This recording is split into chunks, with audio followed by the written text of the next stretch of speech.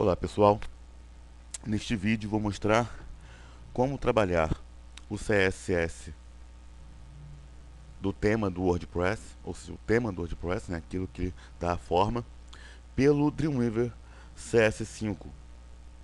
Ah, para isso precisaremos do respectivo, né, do Dreamweaver CS5 e de, do Word, de ter o WordPress instalado num servidor local e ativo.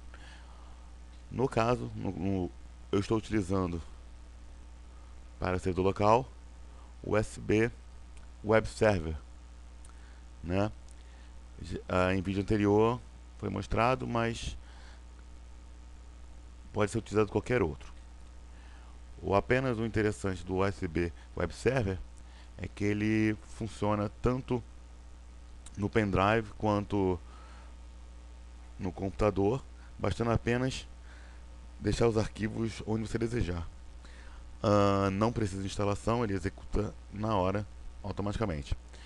Eu apenas estou colocando ele na raiz, quer dizer, no desktop, para poder facilitar a busca dos caminhos quando estiver mexendo pelo Dreamweaver.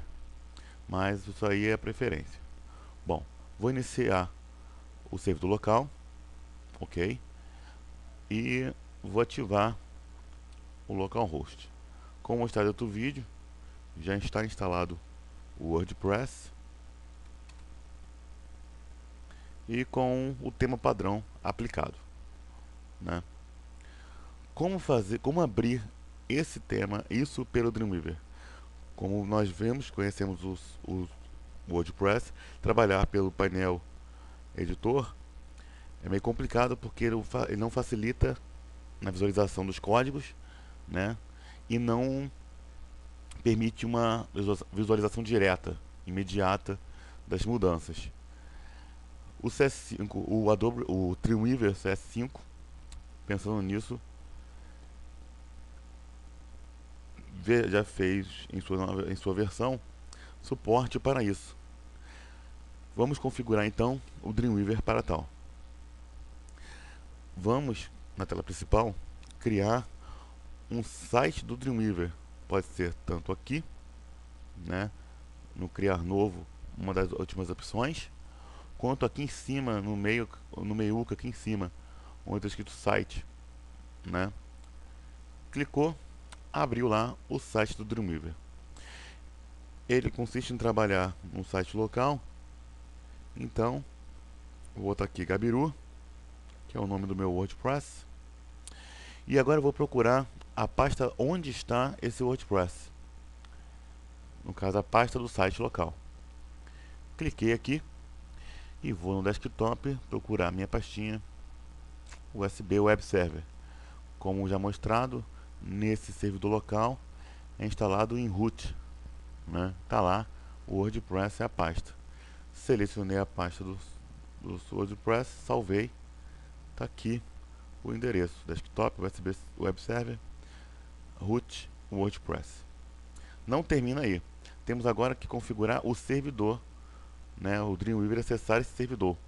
Ele vai estar em branco, clicar em mais e ele está oferecendo para você trabalhar uma página online.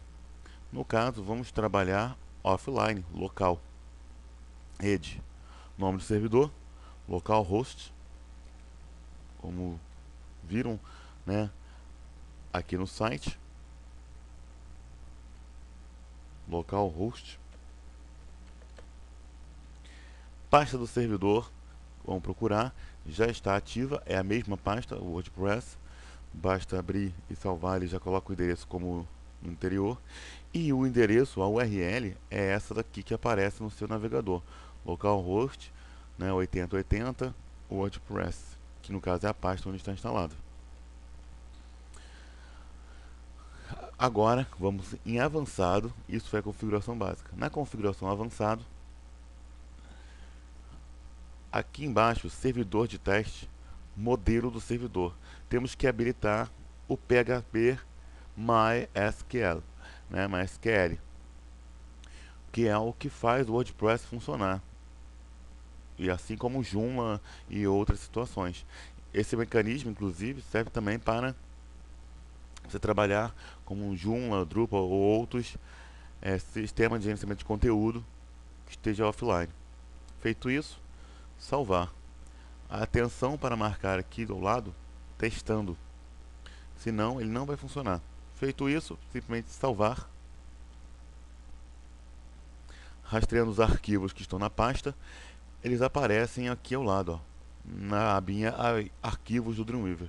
Se não tiver sua aba aqui aberta, que já é o padrão, vai aqui em Janela, tá lá, Arquivos, F8. Feito isso, basta eu abrir a página principal. Dois cliques. E ele vai dizer que tem um erro. Que a, tá, ele, ele compreende que existe uma atualização dinâmica, ou seja, ele busca informações de, do, via PHP é, de um banco de dados. Então ele está falando para você identificar pelo servidor. Clique em identificar. Né? na versão em inglês é Discover e depois em sim Yes processor fez identificação não aparece nenhum erro ainda não está visualizando ainda por quê? temos que clicar como código ativo no caso live view da versão em inglês quer dizer live code né? Estou agora com o meu layout aparente aqui. O que está lá está aqui.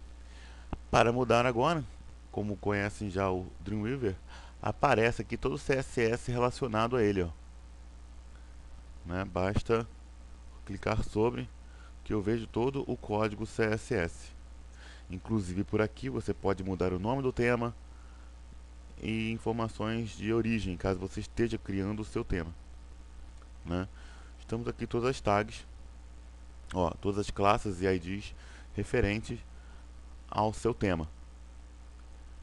Você pode mudar tanto aqui diretamente para identificar o nome dos elementos, por exemplo, Olá Mundo, para identificar qual é a classe ou ID vinculada a este item, basta ir no código ativo que você vê aqui o elemento.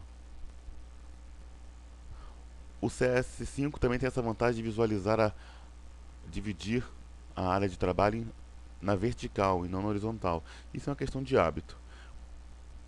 Bom, como vocês podem ver, aqui está a identificação. Está o elemento e você vê que ele é uma H2. Se eu for no CS S e procurar o elemento H2, Ctrl F, estão aqui, eu tenho todos as, os elementos vinculados, cor, transparência, fonte, é, altura da fonte, ok? Se você tiver dificuldade de achar por aqui, Muitas coisas você pode fazer também pelo CSS aqui.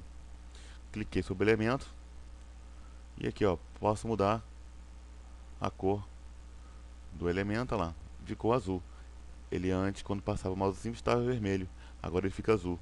Selecionei de novo, né? cliquei duas vezes. Isso também serve para todas as configurações referentes aos links da H2. Ok? Agora aproveitem a dica aí.